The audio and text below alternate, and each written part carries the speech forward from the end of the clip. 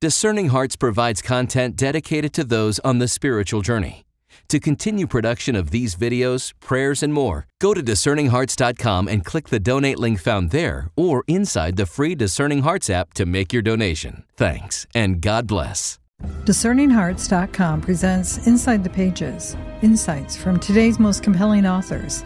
I'm your host, Kris McGregor, and I am delighted to be joined by Father Basil Nortz, who is a member of the Order of Canons Regular of the Holy Cross. He's preached for retreats for members of the Opus Angelorum around the United States. He is the prior of the Monastery of the Holy Cross. With Father Basil Nortz, we go inside the pages of Holy Silence, a practical guide to recollection in God, published by Sophia Institute Press. Father Basil, thank you so much for joining me. I'm very happy to be with you. I am so grateful for Holy Silence, a practical guide to recollection in God. It is so lovely and I think so necessary for today's world and particularly for the today's Christians, Catholics, for anyone who wants to climb higher on that holy mountain or even go deeper in that spiritual life. So thank you so much. Very welcome. Tell us about what brought you to compile or to expand on these great teachings. Well, it happened that many years ago when I began my formation as a religious, someone gave me a conference on silence. And at the end of the conference, this priest gave me a list of 12 types of silence that were written by a Carmelite nun from France from the 19th century. And I found it very helpful for myself. It just had the name of the type of silence and a very short description. But using that over the years of my formation, I kept coming back to it as a kind of examination of conscience. So it was very helpful for me.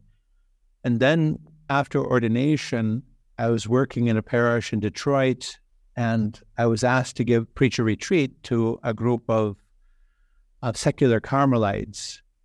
And when I was trying to figure out a, a topic that would be fitting for them, I remembered that list. And I elaborated three conferences on those 12 types of silence, and it was very well received.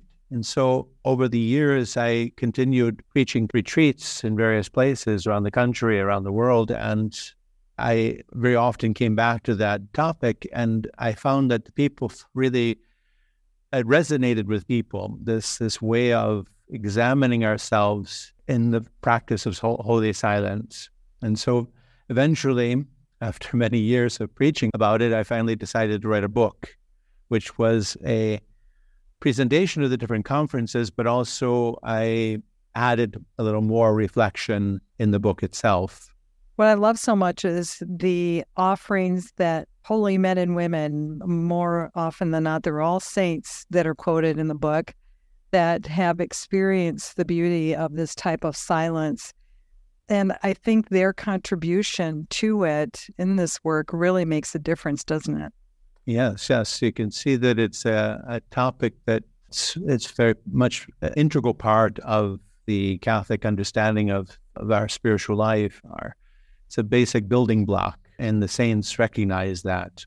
But who knew that you could take silence, which I think for many of us is a how do I want to describe this? A, a, negative. It's a taking away. It's a causing to remove things. I don't think we look at it as you bring forward for us that silence is actually very embodied, isn't it? It is very active in its nature.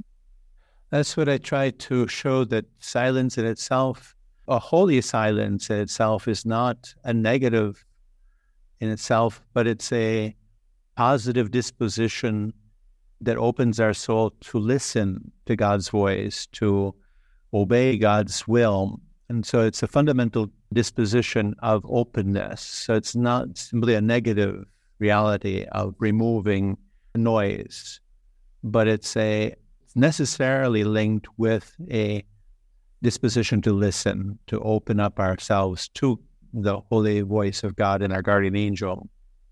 I think uh, sometimes we get confused. We think we need to be silent, that it, as I said, it's as much of a removal of sound or, but actually it's entails that what you just spoke of, that great listening. Isn't that at the key of the of what obedience is? Obedience is that deep listening. And in this case, who should we be listening to more than anything else? As you point out, it's God. We should be listening to Him in all things. Yes. I mean, as I point out in the book, there are various forms of silence in the sense that there are also unholy types of silence as well that we have to avoid. But a true holy silence necessarily is linked to our, it's based upon our faith, obviously, our faith and our hope, our charity, which is the, the charity, which is a, the form of all our virtues. But it's based upon our, our faith that God loves us and He has a plan for us. He has a plan for us in every day of our lives. It's not just a, a generic plan that he has, but he has a very detailed plan for our lives. His will enters into his providence enters into all the different details of our lives and but for us to be able to recognize that in the things that just seem to happen by chance by blind fate but i mean the silence is what helps us to recognize there is no such thing as blind fate Everything is from the loving hand of God, and there's a reason for it. But for us to be able to discover that reason, we need to be listening to Him. We need to be on the same wavelength as our holy guardian angel who will help us understand what's going on. I think we have to acknowledge, don't we, that for many of the, uh, the saints that you've written about and they talk about the importance of silence, they didn't live in a time period such as ours, where there is so much noise. I mean, they experienced it and they warned about noise, but could they have conceived of the type of what you termed intentional noise that is deliberately created, willingly sought, readily accepted? And I'm quoting the book now, as opposed to the noise that we cannot avoid and find undesirable. Yes, that's that is exactly why I thought it would be important to provide this in book form because it's a kind of book that you don't just read once. You have to keep going back. For me, I, have given this conference hundreds of times, and every time for me, it's a, it's a reminder of these basic principles to be able to go back and because exactly our world is very noisy. The opportunities that we have to create all manner of noise in our lives is multiplied every year. The means of technology is always advancing to create new addictions, new new new forms of noise, that uh, ways of accessing noise with greater and greater ease. And so it's it's a it's a great challenge that we have to face in this modern world. Yeah, I love the line that you have in the book as well. It says silence is a positive reality that nurtures our souls. It protects the divine life within us and allows it to mature. I mean, that I think is what we desire. We may not even realize, but we truly do desire that more than anything else, don't we? I hope so. I think when we experience it, there is, even with people who don't have the faith, there's a certain recognition of the need to disconnect, to unplug, to get out into nature, into the silence of nature. People recognize that need because it's just psychologically speaking, it just becomes too excessive. It becomes impossible to really attain, uh, to, to come to a a tranquility, interior tranquility, a peace inside without doing that. And so it's even more the case for us who seek to advance in our life in Christ. We need this protective wall. That's the, the image I, I use in the introduction is it's like we have the garden of our soul in which God wants to walk.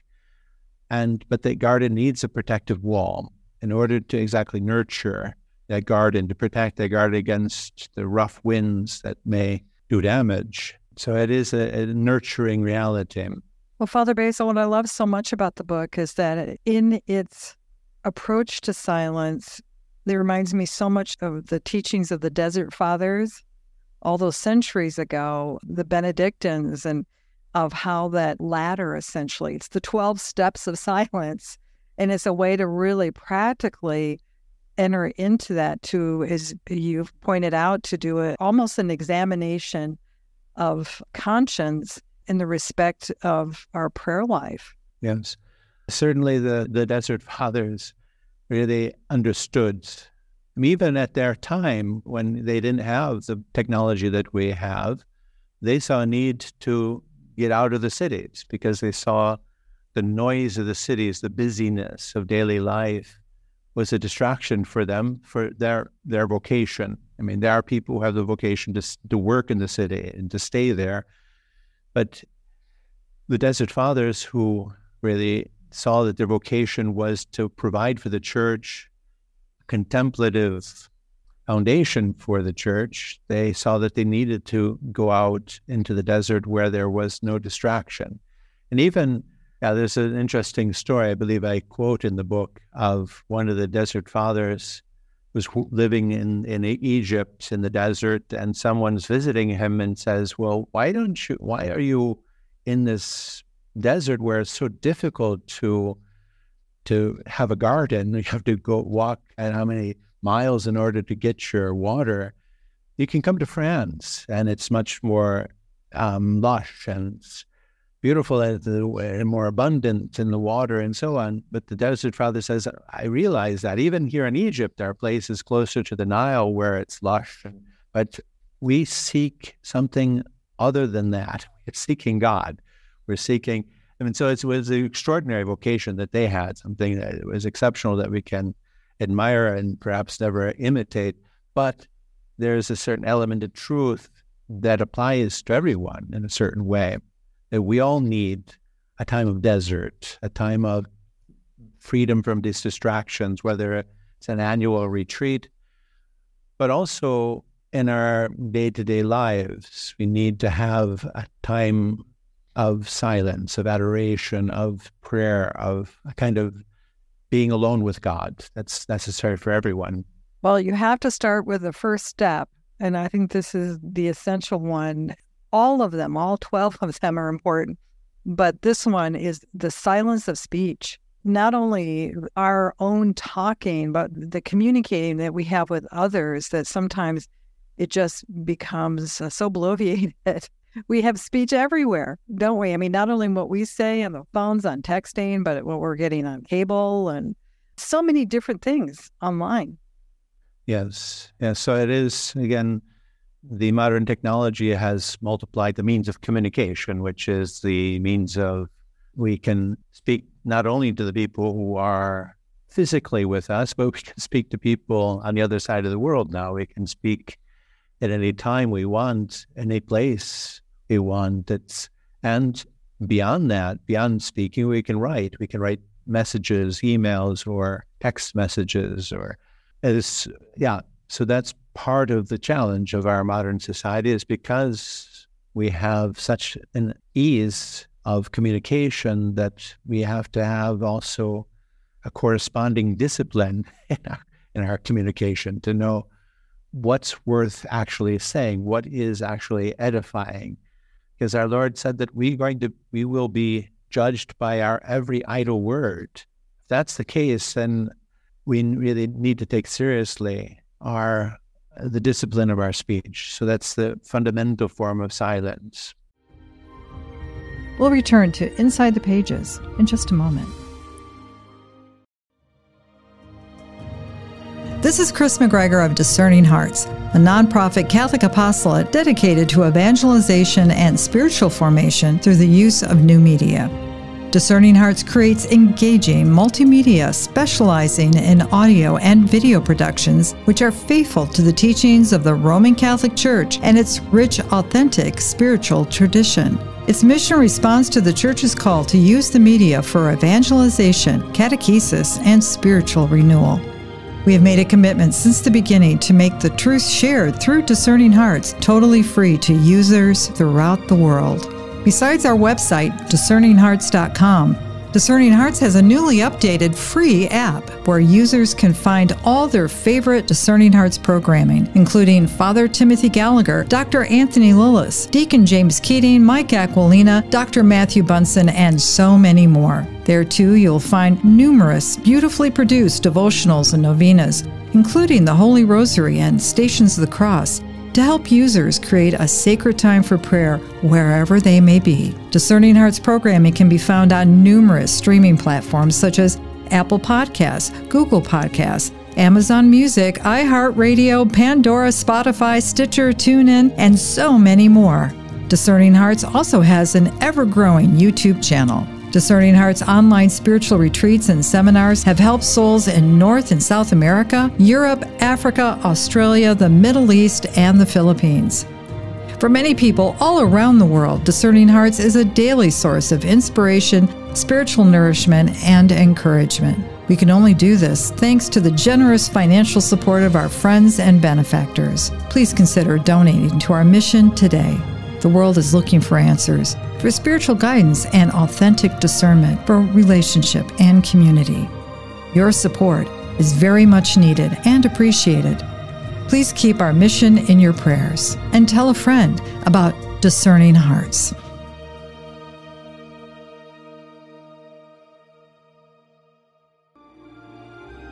We now return to Inside the Pages. We're talking with Father Basil Nortz about his book, Holy Silence A Practical Guide to Recollection in God. Yeah, I think we have to remind ourselves that just because you can say something doesn't mean you should. just as a just a reminder for myself, if anything, that calumny and detraction are still sins. You know, we have to be careful with that, don't we? Uh, very careful, yes. Even so, you have defamation, which is saying something that's true about a person, but to people who have no right to know, they have no need to know. And cal- calumny is to say something false about somebody that would damage the reputation, which is even more serious. But people don't, yeah, many often often don't recognize that defamation is a serious sin. If I, and something that causes damage not only to the reputation of the person being defamed, but it causes damage to the people who are listening and to the person who's talking, something that it's a kind of communicating a kind of poison, a spiritual poison into the soul of somebody.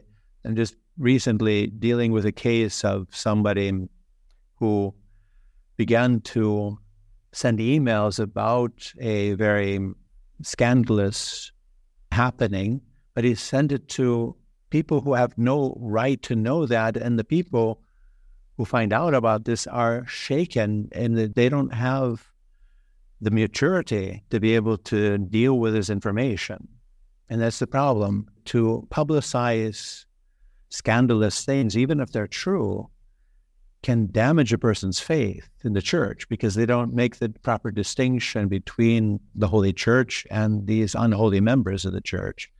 So, yeah, like the discipline in speech is very, very important part of our um, living our faith. I think you help us with such a positive remedy in that beginning every activity, you say, whether work, study, or recreation, by praying the Sanctus. It's a means of, as you, as you write, is a means of synchronizing the activities with the peace of heaven.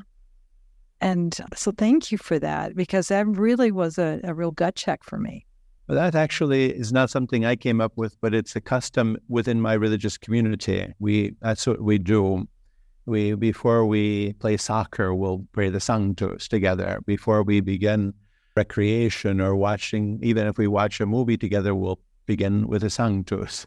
It's a custom that we have, which I find extremely helpful. Exactly because it's it's always a constant reminder that we're in the presence of the angels, we're in the presence of God and whatever we do, we want to do in the presence of God.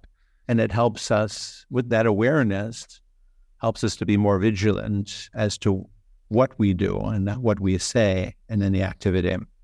Gosh, I wish we had all the all the time we could in in one conversation here to hit on all the different 12 points because I think they're so important, like silence of the body and silence of the senses. Those incorporate kind of each other, don't they, in some ways? I mean, they're distinctive, but they also kind of speak to how we are made, don't they? Yes, yes. It's a, I mean, to recognize that our spiritual life, our life in Christ, is necessarily incarnate. It has to reflect itself in our bodily and sense life.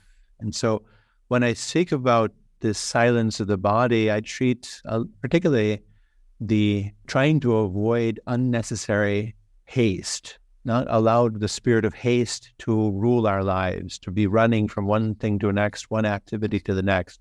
Overactivity is a great danger in the spiritual life. Even if our activities are themselves good things. For for instance, a priest who is working in a parish, he goes from one good thing to another, but he's in this running from one thing to the other, he loses that reflection, that re- realization that he should be praying more, he should be allowing prayer to penetrate more the activities that he is doing.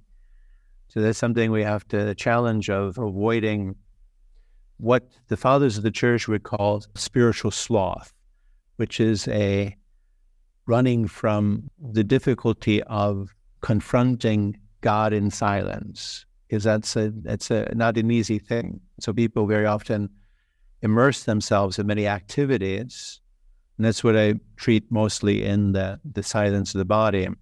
Whereas the silence of the senses has to do with you know, our, our, the, the input that we willingly allow into our eyes and our ears and our sense of touch and, and so on. That's another thing that needs uh, the discipline in order to be able to, because the senses are like the gateways to our soul. And we need to be very careful what we allow into those gateways so that we can protect, again, that garden where God wants to remain in our soul. I remember as a young mother once watching EWTN, and uh, Mother Angelica was speaking about the controversies around a particular movie that was out. And it involved a depiction of the life of Christ and his passion, which she said some things don't need to be seen with our eyes. And in this particular case, it was, it revealed something that she said there are things that you can see and you'll never be able to take them out of your mind. They will never they will never disappear. So you have to guard what you are seeing, what you allow your at least as parents, what your children are seeing as long as you can to kind of protect that because it is a precious gift that we've been given. Yes, the, is the case that what we allow into these gates of our senses, it's sometimes not so easy to remove it again as you say, it's something things that are seen that we would prefer not to have ever seen. So we need to have a great deal of care. And this is what leads us to the also the silence of the imagination, because the imagination is the storehouse of all that sense data that we receive through our senses. It remains in our soul through our imagination. And so the question is, how do we purify our imagination? How do we form our imagination through meditation, through exposing ourselves to good and holy images or things that or that can help edify our soul? Yeah, I love the fact that you have such a beautiful relationship with the angels and you're constantly bringing them into this conversation about silence that in this section on the imagination you will say this is why the imagination is such a key faculty and very much fought over by both the good angels and the bad angels. Exactly, because uh, St. Thomas Aquinas says the the angels normally don't have direct access to our intellect or our will, but they have access to us through our imagination. And so this is where the deformation of our imagination through bad images or bad listening to things that we shouldn't listen to and so on is something that gives the enemy more matter to work with in our soul. Whereas to the extent that we strive to form our imagination according to the vision of faith, according to meditating on the sacred scripture, it's giving the holy angel more material to work with to guide us and to keep us on the correct road to God. So the angels are very important because that's their our spiritual contact in the sense that all grace comes from Jesus Christ. We believe that he mediates that grace through his blessed mother, the Blessed Virgin Mary. But she, as the queen of the angels, allows our guardian angels to apply those graces directly to us. So St. Thomas Aquinas says that we need our guardian angel for every actual grace, which is for in our day to day life what is necessary for making any meritorious act. We need the help of our guardian angel.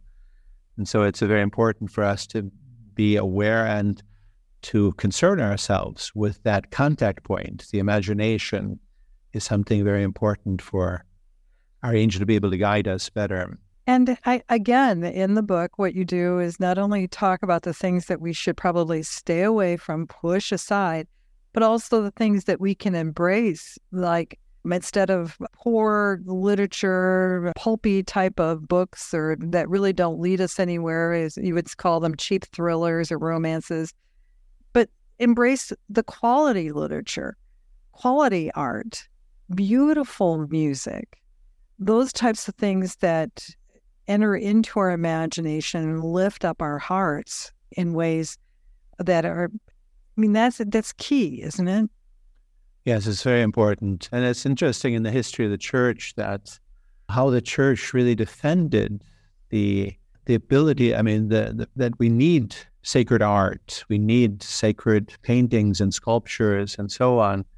It was a very difficult fight many centuries ago against the iconoclast who wanted to remove all this. And there were even bishops and priests and other lay people who were martyred in the defense of sacred art, which is amazing for us today. But but it's so important, as you say, uh, to to contemplate well done sacred the icons, particularly the, the, the sacred art, which uh, has a purity, a simplicity, which is a true window to heaven in the sense that it gives us the possibility to look in, see the face of Christ, and realize that He's looking back at us and Our Lady and the holy angels and the saints, that their sacred art should help us to maintain that awareness of our walking in the presence of many witnesses that are here to cheer us on in our day to day life. The one that I found so curious, and I I'm so glad it's in there because I had never thought about this, was the silence of memory. And you say that this kind of silence, the ascetics of old placed a great value on this. Uh, particularly, St. John of the Cross has a passage where he talks about how much the abuse of memory can cause a great deal of spiritual damage. People who are fleeing the difficulty of the present moment by thinking of the good old times in the past and getting lost in these things, or someone who reflects upon some sinful action in the past and, and relishes it in the present. So there's different ways that we can abuse the memory. Whereas there are very important ways that we have to use the memory. Obviously, our whole faith is based upon the remembering of the great works of God's providence in the history of salvation and also in our own particular life to remember with gratitude the graces that we have received throughout our lives. So there's a proper use of memory that's very important to sustain us and sustain our faith and confidence in God. But there are ways of abusing memory that can be very, very damaging. So that's why we have to, again, be vigilant in the use of the memory. We'll conclude our conversation in our next episode. With Father Basil Nortz, we've gone inside the pages of Holy Silence, a practical guide to recollection in God. To learn more about this book or to obtain a copy, go to sophiainstitute.com the website for its publisher, Sophia Institute Press, or you can find it at any fine Catholic bookstore. To hear and or to download this conversation along with hundreds of other spiritual formation programs, visit discerninghearts.com or you can find it within the free Discerning Hearts app or wherever you download your favorite podcasts. This has been a production of Discerning Hearts. I'm your host, Kris McGregor. We hope that if this has been helpful for you, that you will first pray for our mission, which is to offer authentic and rock solid spiritual formation freely to souls around the world. And if you feel us worthy, please consider a charitable donation, which is fully tax deductible to help support our efforts. But most of all, we hope that you will tell a friend about discerninghearts.com and join us next time for Inside the Pages Insights from today's most compelling authors.